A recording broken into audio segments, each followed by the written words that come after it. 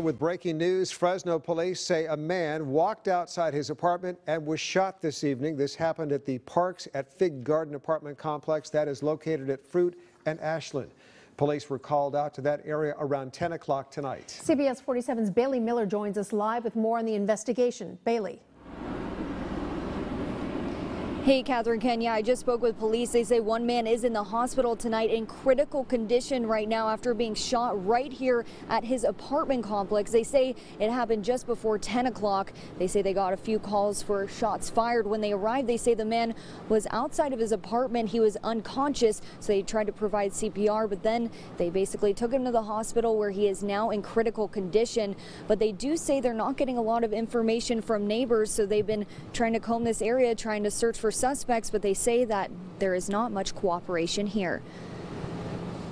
We have not uh, received an awful lot of cooperation. Um, uh, what we've really received is yes, we heard a, uh, a gunshot, but we no one's saying anything about uh, who did who actually did the shooting.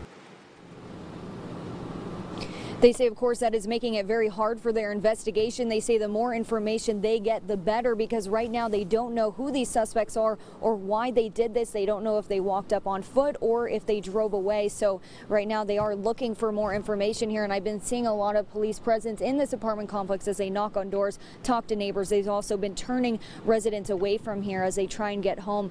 But basically, one man was shot here tonight. He is in critical condition after being shot in the upper torso. Police are looking for any information right now. So if you have any information about this, you're asked to call Fresno Police. Live in Fresno, I'm Bailey Miller, CBS 47 Eyewitness News.